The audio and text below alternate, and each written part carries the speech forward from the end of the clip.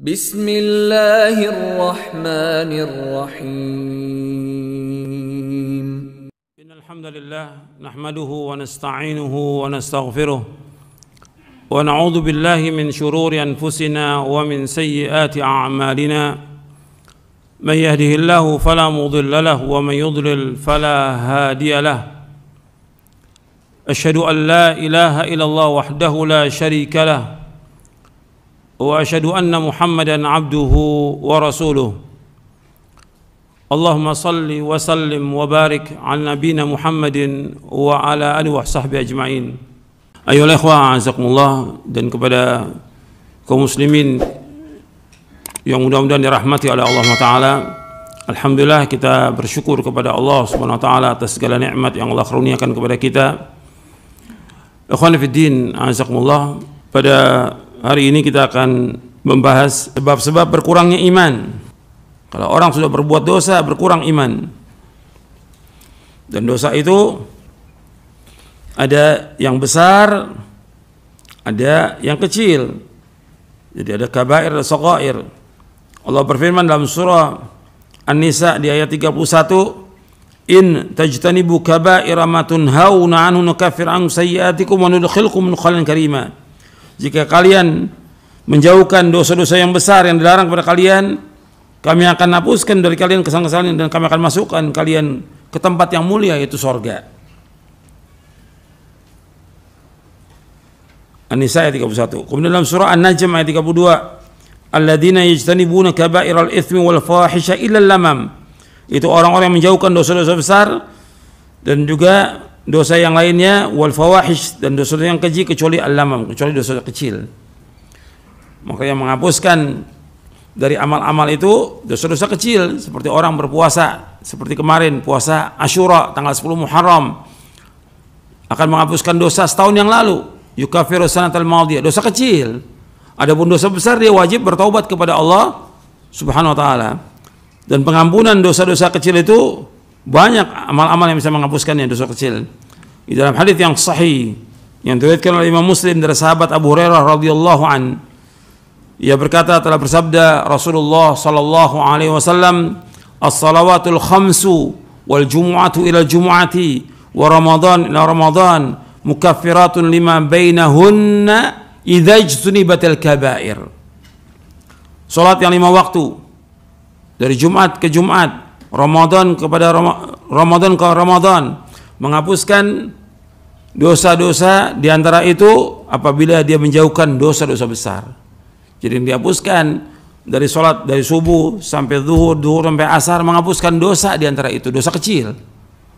Antara Jumat sampai Jumat berikutnya menghapuskan dosa kecil. Antara Ramadan sampai Ramadan berikutnya menghapuskan dosa kecil. Jadi syaratnya di sini apabila dia menjauhkan dosa-dosa besar. Hadis sahih riwayat Muslim. Nabi juga menyebutkan SAW tentang dosa-dosa besar. Dari hadis Abu Bakrah radhiyallahu an Nabi bersabda SAW kata Rasulullah SAW ala unabbiukum bi akbaril kabair ala unabbiukum bi akbaril kabair ala unabbiukum bi akbaril kabair. Qulna bala ya Rasulullah. Qala al isyraku billah wa uququl walidain wa qaul az-zur wa syahadat az-zur. Kata Nabi maukah aku kabarkan kepada kalian tentang dosa-dosa besar yang paling besar. Tiga kali Nabi sebutkan. Kemudian kata para sahabat mau ya Rasulullah? Yaitu yang pertama dosa besar yang paling besar syirik. Menyekutukan Allah. Ini yang paling besar. Yang kedua durhaka kepada orang tua. Yang ketiga menjadi saksi palsu dan berkata yang dusta. Ini hadis sahih Bukhari dan Muslim. Dan perhatikan dosa yang paling besar syirik. Harus dijauhkan maka dakwah kita menjelaskan kepada umat ini tentang tauhid dan merang umat dari berbuat syirik karena syirik ini merupakan dosa besar yang paling besar dan kezaliman yang paling zalim. Kemungkaran yang paling mungkar dan maksiat yang paling maksiat adalah syirik. Maka harus terus dakwah ini agar berkurang kesyirikan ini. Di Indonesia ini paling banyak orang berbuat kesyirikan. Di negara lain juga ada, tapi Indonesia paling banyak ini orang berbuat kesyirikan. Maka harus terus kita ingatkan. Gitu. Yang membuat iman ini tambah turun karena dosa, dosa yang paling besar syirik. Dan juga datangnya adab, sebabnya datangnya adab ya karena dosa besar yang dilakukan oleh manusia. Jadi kita berlindung pada Allah dalam demikian. Kemudian uququl walidain, durhaka pada orang tua. Ini perhatikan antum. Antum masih punya orang tua, berbuat baik pada orang tua. Itu jalan antum menuju sorga. Berbuat baik pada orang tua. Bahwa ini dosa besar yang paling besar. Jangan berkata ah pada orang tua. Jangan menengking, jangan menghardik, jangan melawan, jangan membangkang. Taati orang tua, karena itulah jalan menuju sorga. Bapak anak yang durhaka tidak akan masuk sorga. Ketika Nabi menyebutkan tentang dosa-dosa besar yang tidak masuk sorga, Nabi sebutkan al-aqli walidayhi anak yang durhaka pada kedua orang tuanya itu nggak masuk surga. Ya, antum perhatikan itu. Jadi kesempatan antum berbakti pada orang tua, gunakan kesempatan ini apa yang bisa kita lakukan. Berbuat baik pada orang tua. Jangan kita melawan orang tua. Jangan menghardik orang tua. Jangan menengking orang tua. Jangan mengatakan ah pada orang tua. Sami'na wa ta'na pada orang tua itu. Itu perhatikan. Jangan sampai menyesal. Banyak orang-orang yang menyesal karena dia durhaka pada orang tuanya. Orang tua merupakan jalan menuju surga dan banyak hadisnya Nabi SAW menyebutkan demikian. Dan apa yang kita lakukan buat orang tua kita itu nggak bisa sebanding dengan kebaikannya orang tua. Orang yang paling baik kepada kita di muka bumi ya orang tua kita. Yang paling sayang ya orang tua. Jangan menyakiti hati kedua orang tua, jangan. Itu perhatikan tuh. Jangan kurang ajar kepada orang tua. Berbuat baik pada orang tua. Itu jalan menuju surga.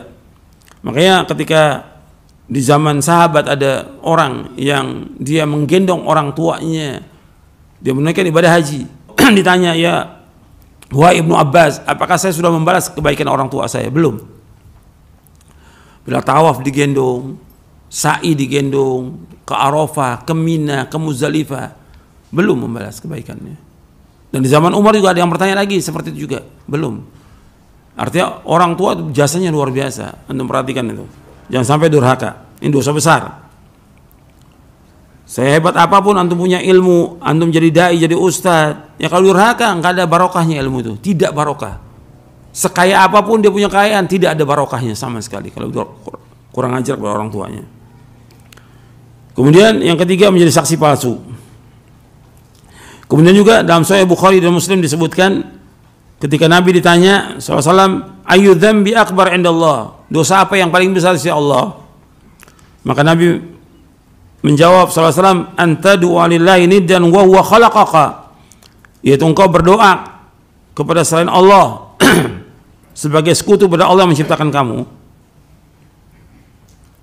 artinya engkau berdoa kepada selain Allah menjadikan sekutu bagi Allah pada Allah yang menciptakan kamu artinya berbuat syirik kepada Allah ini dosa yang besar, paling besar Thumma ayu dikatakan lagi kemudian apa? Antaktula waladaka makhafat makhafata ayat'ama ma'aka. Yang kedua engkau membunuh anakmu karena takut untuk makan bersama kamu. Karena zaman jahiliyah banyak orang membunuh anaknya karena takut miskin. Seperti yang Allah sebutkan dalam Al-Qur'an. Kemudian Thumma yang ketiga, apalagi dosa yang paling besar?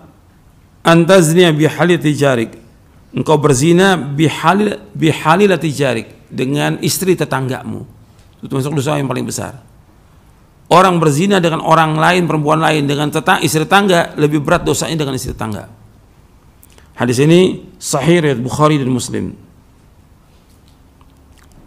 dan masih banyak lagi tentang dosa besar kalau antum mau baca tentang dosa besar dan pengaruhnya sebab dosa besar itu punya pengaruh pengaruh kepada hati kita kepada akal kita, kepada penglihatan, pendengaran, tubuh, pengaruh kepada keluarga, kepada istri, anak, kepada masyarakat. Itu punya pengaruh. Antum baca kitab Ada wa Dawa. Ada wa Dawa. Dan sudah ada terjemahannya dalam bahasa Indonesia yang ditulis oleh Al-Imam Ibnu Qayyim Al-Jauziyah. Pengaruh luar biasa dan banyak orang-orang yang tidak berkah umurnya, tidak berkah hartanya ya karena dosa. Banyak puluhan akibat perbuatan dosa dan maksiat ini punya pengaruh dalam kehidupan manusia luar biasa. Bahkan kadang-kadang nggak berpikir yang waras. Makanya kalau antum lihat kondisi yang ada karena banyaknya dosa. Kan antum bisa lihat tuh banyak pejabat-pejabat yang kalau menurut akal yang waras nggak waras dia dalam berbuatnya. Tapi itulah dosa yang dilakukan sehingga membuat perbuatan-perbuatan yang nggak masuk akal. Dan banyak yang seperti itu. Gak sesuai udah. Karena apa? Dosa itu merusak akal dia. Dosa merusak hati dia. dosa merusak tubuh dia, dosa merusak keluarganya, dan yang lainnya. Kalau kita lihat juga banyaknya cobaan atau banyaknya petaka, banyaknya musibah, bencana ya karena dosa. Itu mesti orang berpikir yang waras dan juga berpikir dengan bimbingan wahyu bahwa sebab yang ada ini karena dosa, adanya wabah yang terus menerus, ada banyaknya penyakit, ya karena dosa. Dosa. Makanya yang harus diobati bagaimana orang menghindar dari perbuatan dosa. Maka yang harus disampaikan kepada umat bagaimana mereka bertobat kepada Allah. Yang jelaskan kepada umat bagaimana mereka pergi ke masjid untuk sholat berjamaah di masjid. Diingat kepada umat bagaimana mereka meninggalkan perbuatan dosa maksiat dari syirik, riba dan yang lainnya. Itu diingatkan. Bukan ditakut-takuti manusia ini, bukan. Jadi kalau seandainya semuanya kembali kepada Allah, bertaubat kepada Allah, insya Allah Allah akan angkat wabah ini. Allah akan angkat bala ini. Itu yang harus diingatkan kepada manusia semuanya. Dan ustaz-ustaz juga harus mendakwakan dakwah ini, bukan wah ustaznya takut. Ustaznya gak ke masjid, pakai masker double. Ustaznya la haula wala quwata illa billah. Ini penakut. Gimana antum dakwah yang seperti ini? Justru antum keluar hidup di, di masyarakat, ajak mereka ke masjid, ajak mereka bertobat kepada Allah, ajak mereka untuk mentauhidkan Allah, ajak mereka untuk berzikir kepada Allah, ajak mereka baca Al-Quran. Itu orang beriman seperti itu, bukan usah tambah takut. Sampai contohkan bagaimana sholat di rumah, sholat di masjid, bukan di rumah. PPKM perbanyak pergi ke masjid. Itu. Mestinya seperti itu sehingga Allah angkat wabah ini. Itu pikiran yang waras. Itu yang waras sesuai dengan syariat, sesuai dengan nas, dengan dalil. Bukan tambah takut. Kalau usah tambah takut bagaimana? Lama-lama kelamaan bisa sakit jiwa nanti itu.